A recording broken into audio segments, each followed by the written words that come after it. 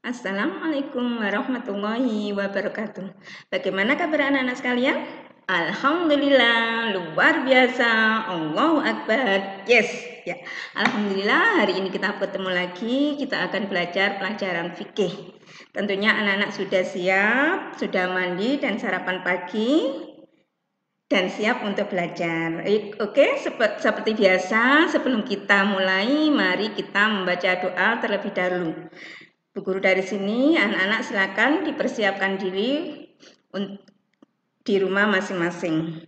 Ya, sikap berdoa. Tangan diangkat, tundukkan kepala, pejamkan mata. Ila hadratin Nabi Mustafa Rasulullah sallallahu alaihi wasallam wa ala ali wa ashabi wa duriyati wa ahli baitil kiram.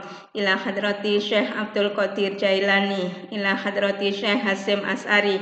Ila muassasatu ta'limiyatu kebun sari wa asatitina wa talamitina wa wawalidina al-fatihah أعوذ بالله من الشيطان الرجيم. بسم الله الرحمن الرحيم. الحمد لله رب العالمين. الرحمن الرحيم. مالك يوم الدين. إياك نعبد وإياك نستعين. اهدنا الصراط المستقيم.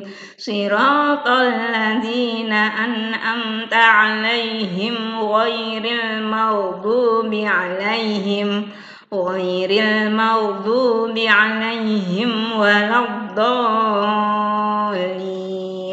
رب اغفر لي ولوالدي وللمؤمنين آمين. Kita lanjutkan dengan membaca sholawat nariyah.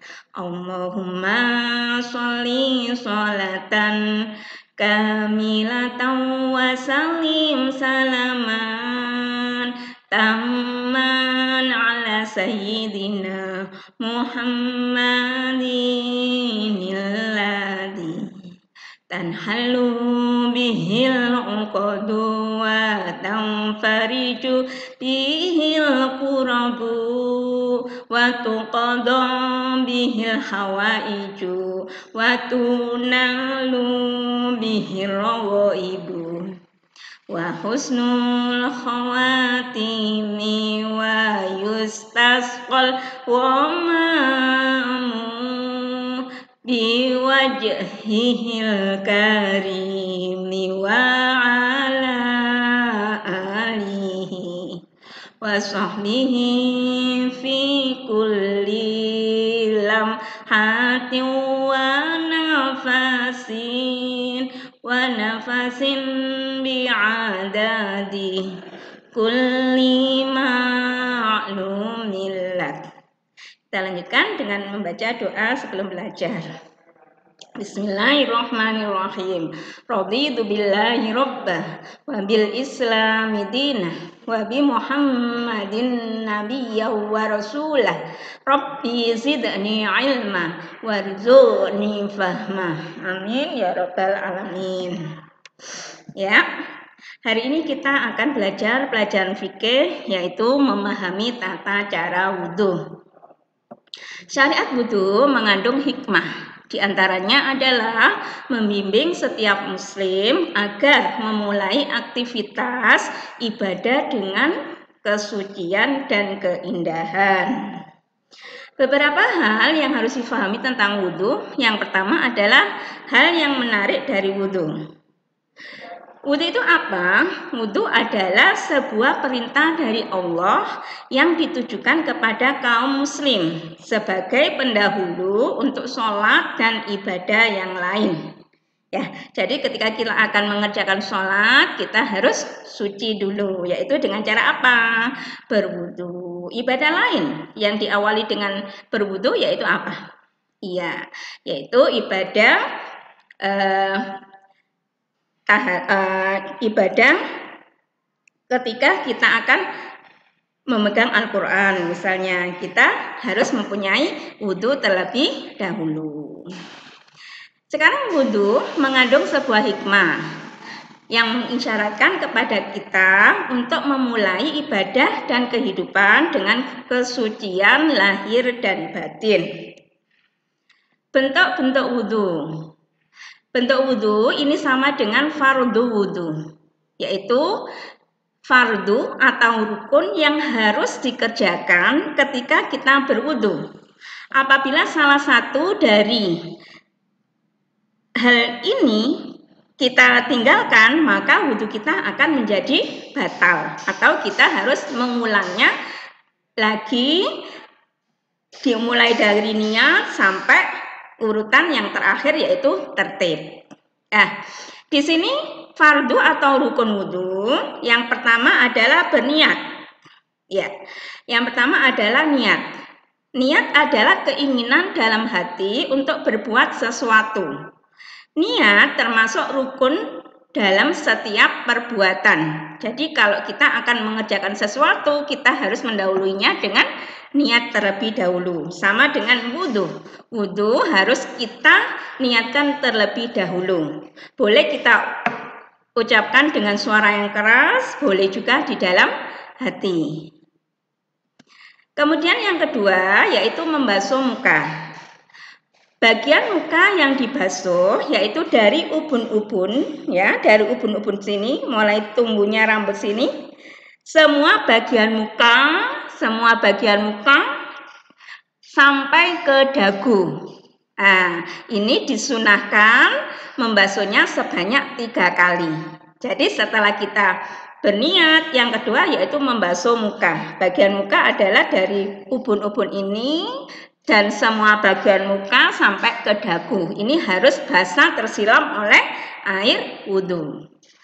Selanjutnya yaitu yang C, membasuh kedua tangan. Membasuh kedua tangan ketika wudhu dimulai dari ujung jari sampai siku-siku. Ini semuanya harus terbasuh oleh air wudhu. Ya, ini adalah urutan yang ketiga atau yang C.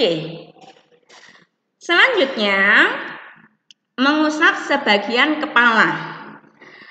Dalam madhab Imam Syafi'i, mengusap sebagian kepala yaitu bagian depan pada kepala. Apabila rambutnya panjang, cukup mengusap rambut bagian depan saja. Jadi nggak harus sampai panjang seperti itu. Ya, ini adalah urutan yang keempat atau D. Selanjutnya, membasuh kedua kaki. Bagian mana yang dibasuh ketika kita berwudu? Yaitu membasuh kaki dimulai dari telapak kaki sampai mata kaki. Bu Guru pernah mengajarkan ya, mata kaki yaitu bagian yang menonjol di kaki kita sebelah kanan dan kiri ya, itu adalah bagian mata kaki. Jadi ketika kita membasuh kedua kaki, bagian kaki itu dimulai dari telapak kaki sampai mata kaki. Harus terbasuh oleh air wudhu semuanya. Yang terakhir yaitu tertib. Tertib ingat apa artinya? Ya, pintar. Tertib adalah berurutan. Artinya dilakukan secara urut. Tidak boleh di rubah-rubah urutannya. Misalnya kita berwudu setelah niat, kemudian membasuh kaki dulu, baru membasuh muka, baru membasuh tangan. Itu nggak boleh, harus urut. Ya, siapa yang bisa mengurutkan? Tadi ya, yang pertama apa? Pintar. Yang pertama niat dulu. Nawaitul wudu'a li raf'il hadasil aswari fardolillahi ta'ala. Yang kedua, membasuh muka. Kemudian urutan selanjutnya membasuh kedua tangan dimulai dari ujung tangan, di ujung jari tangan sampai siku-siku. Kemudian lanjutnya apa? Ya, mengusap sebagian kepala, kemudian membasuh kaki sampai mata kaki, yang terakhir yaitu tertib. Ya, itu adalah urutan-urutan ketika kita berwudu. Nah, itu adalah materi kita pada kesempatan hari ini. Anak-anak bisa melihatnya lagi di buku pelajaran fikih. Sampai jumpa, sampai bertemu lagi. Kita banyak berdoa ya. Semoga keadaan ini segera membaik dan kita bisa belajar lagi di sekolah. Sekian materi kita pada hari ini. Seperti biasa, sebelum kita tutup, mari kita membaca doa terlebih dahulu.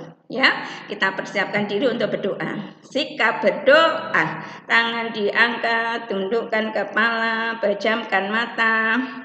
Berdoa mulai. Minasyaitonir rajim. Bismillahirrahmanirrahim. Wal asr. Innal insana lafi khusr.